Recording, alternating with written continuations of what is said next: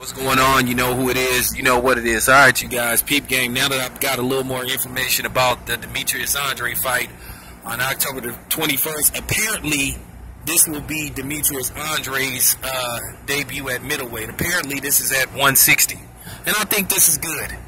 You know what I'm saying? I guess Lara... I, I guess Lara played too many games with Demetrius Andrade, so Demetrius Andrade has decided to move on.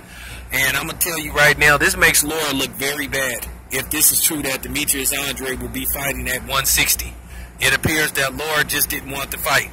Now, with that being said, things are getting very bad and uncomfortable for Triple G and Canelo, the two guys at 160. We all know that Canelo avoided Demetrius Andrade at 154.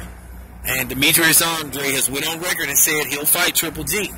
So now so much for the excuses that Triple G don't have nobody to fight. Because now Triple G is the hunted now.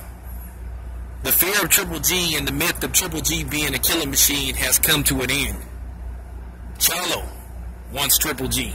Demetrius Andrade more than likely will be coming after Canelo and Triple G. Daniel Jacobs has already said he wants Canelo and Triple G. And Canelo and Triple G can't play these games. Oh, these dudes need to fight each other. They're going to have to fight these dudes. And that's just the bottom line. Because if they try to find ways to maneuver around 160, people will see them for what they really are, duckards and cowards. And that, that, it is what it is. See, this is the difference between me and a lot of other motherfuckers. I'm not gonna say that bullshit that a lot of you motherfuckers is gonna run that Demetrius Andrade don't deserve a fight with Triple G or Canelo, cause that's chicken shit.